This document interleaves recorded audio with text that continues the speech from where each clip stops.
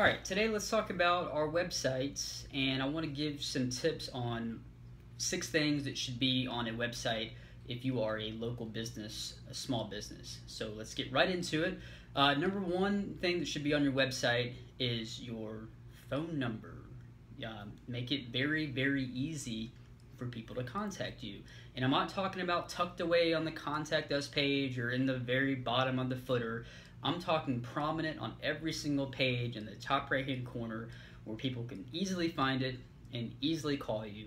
Uh, so make sure your phone number is on your website. Number two, if you're active on social media, and I do recommend that you are, um, that I want you to have your social media icons in which you're active at the very top of your website as well. So if you're active on Facebook and Twitter, go ahead and put the uh, the Facebook the, a link to your Facebook page, a link to your Twitter page with the icons, etc.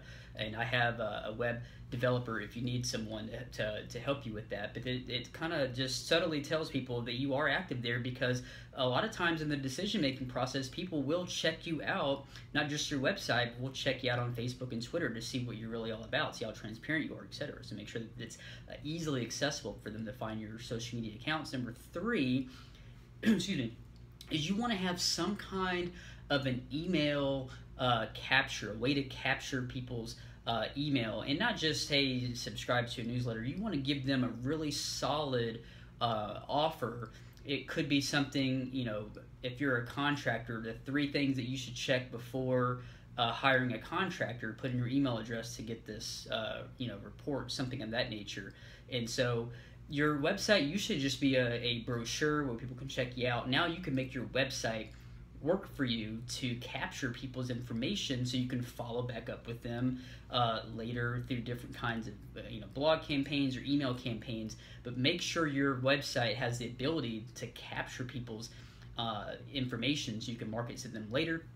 Number four you want to make sure that you have a blog, not just a blog section. If you're not going to keep up with the blog, don't have it. But uh, you want to, again, you want to give people reasons to come back to your website without having to buy. Meaning, you want to have helpful information that you're consistently updating. And also, if you have a blog that you're consistently updating, Google likes that because you're you're giving it something else to check out each month when they crawl your page. And so, but the, the main focus again is to help your uh, potential customer, give them great content, and eventually they will buy from you. But if they have no reason to come back because there's never a change on their website, why would they ever come back? So make sure that you're uh, doing an active blog. That's something that we can do for you if you need help in that regard.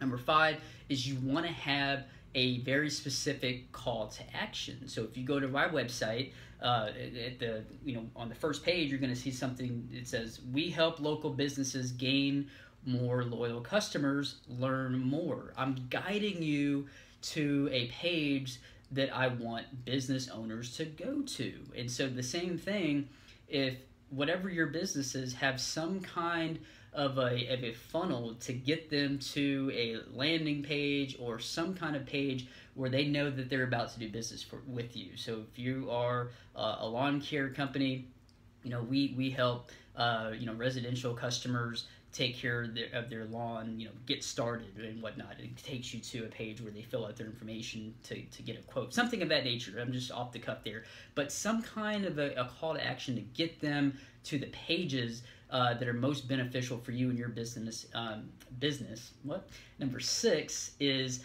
you want to have an about us page and not generic with stock photos. I'm talking hiring a professional writer to write an about us page uh, about you and your business or you and your uh, you know employees and here's the key. Have real pictures of you and your staff and your employees. Maybe you if it's a family owned business you and the the, the, the family uh, make sure it's updated photos and and make sure that if you do have employees on there if if someone leaves for whatever reason that you update that page. But again we as consumers we buy with our gut and not with our brain. And so when people have a connection with who they're about to do business with, that really helps. So make sure that you're you have an about us page, but it, it includes real pictures and it is professionally uh, written with you know facts about you and, and your business, etc.